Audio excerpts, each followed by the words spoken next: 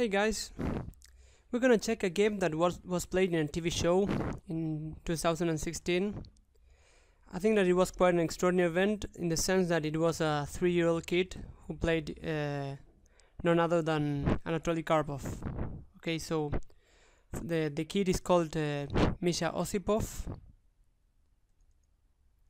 and you know, well, three-year-old playing chess is already a, a child prodigy and uh, whether he makes it far or not in his chess career, I think it's pretty already pretty amazing to have someone at this age playing a game of chess. And as we'll see, he he does know quite a lot about chess.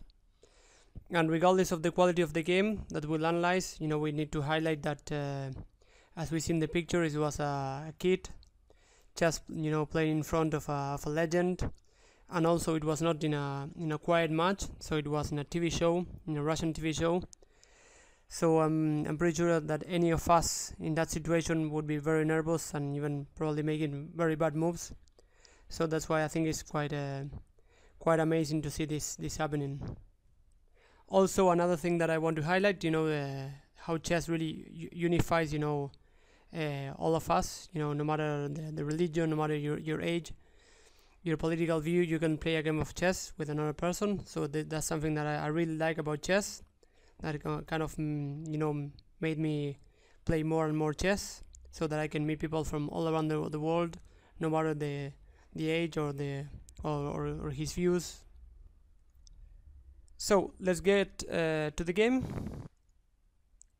So I, I, will share you the the link of uh, this video where Karpov plays against Osipov. So basically, the kid got to the TV show, and uh, the the conductor uh, asked me if, he wanted to play a game of chess. Uh, Osipov said yes, and he said that he didn't know how to how to play a game of chess. So they had an someone who invited someone who he, he might know, and this kid, you know, was was very happy to see to see Karpov. He already knew that he played against Korchnoi, in the in the World Championship matches. So he he already impressed Karpov, who was very happy to see this kid.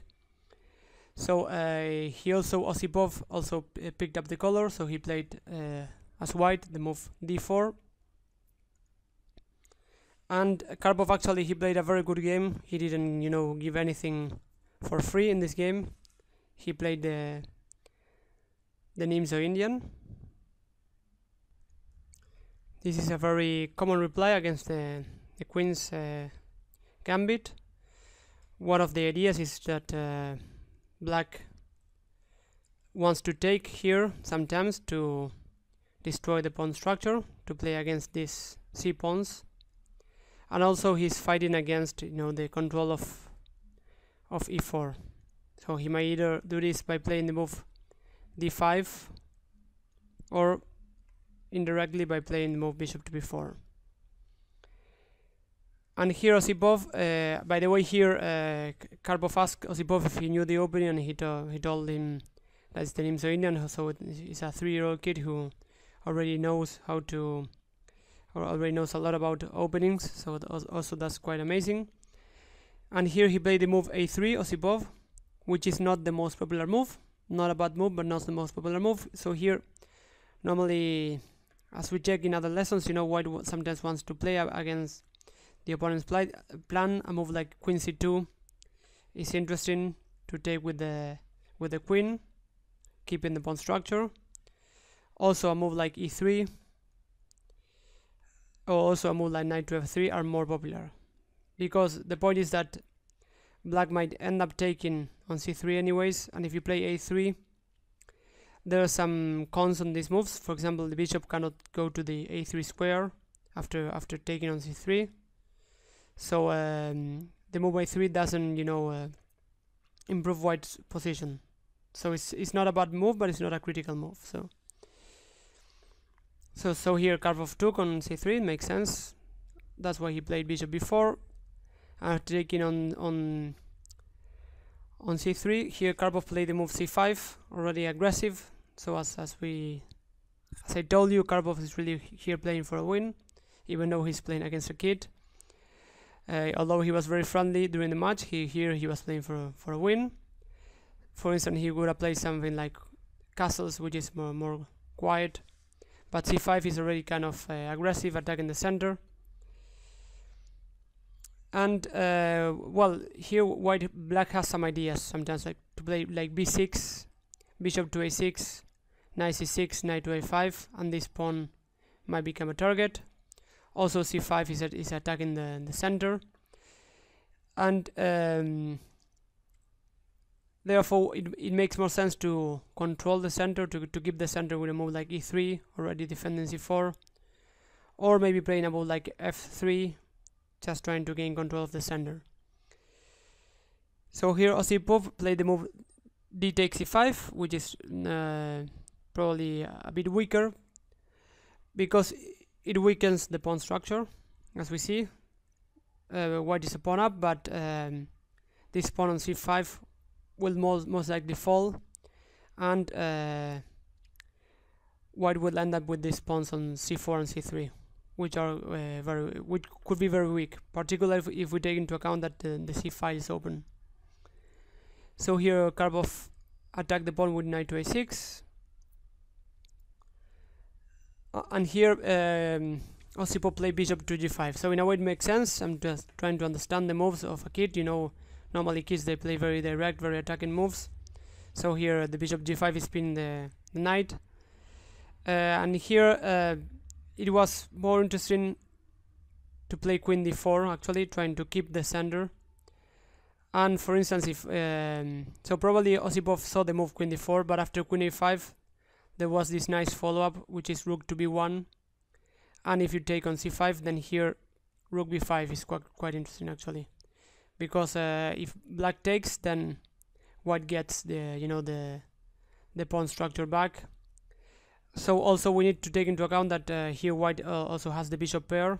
That as we know in, in an open position might be an advantage for white. So here taking d4 would be good for white so after uh, bishop g5 take taking on c5 uh, black is fine. So as, as I said here black is at uh, black wants to play against these pawns but uh, on the other hand white so far has the bishop pair so this is kind of his uh, advantage against uh, blacks also uh, against blacks advantage. So here the position I would say slightly better for black but still within the balance could be within the balance but here white has to play more or less uh, accurately after knight f3 b6 g3 here Karpov played the move h6 I think it's interesting to you know always ask uh, he's asking questions to his younger opponent. And here uh, Osipov took on f6. You know, it, it, it is tempting, you know, to exchange pieces when you play against a former world champion, but here it is quite a big mistake because after um, because after bishop takes, queen takes, basically, you know, uh, black has this advantage of ad fighting against these pawns and white has nothing in return. So after bishop f4, uh, I would say that the game, uh, although it's still a, a, bit better for for black, maybe at least white has the the bishop pair. So.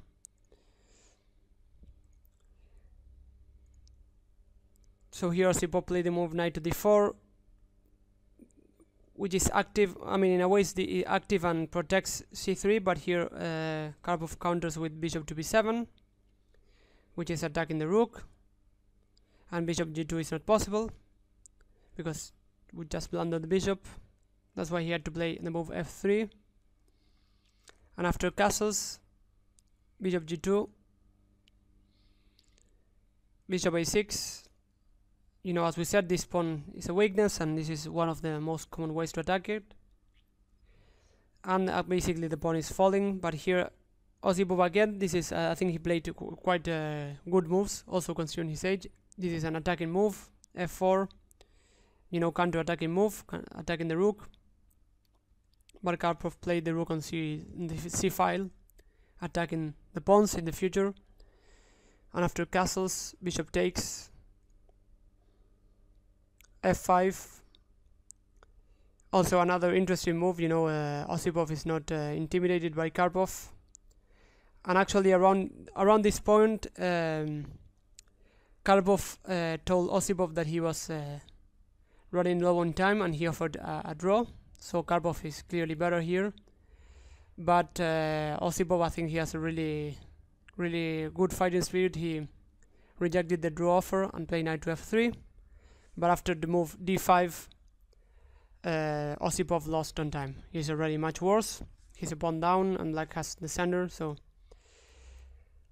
but in any case i think it was quite an, an interesting game to watch and i showed the the, the, the video about, about this game what they played live in the in the tv show so here uh, actually Osipov he was a bit sad after the game He's, he cried a little bit but after that he he was happy again after uh, Karpov congratulated him and actually he solved some some puzzles after the game some chess puzzles very quickly that's also quite impressive so uh, I invite you to check the video and I hope that you enjoyed this, this video as well. So I'll talk to you next time. Bye bye.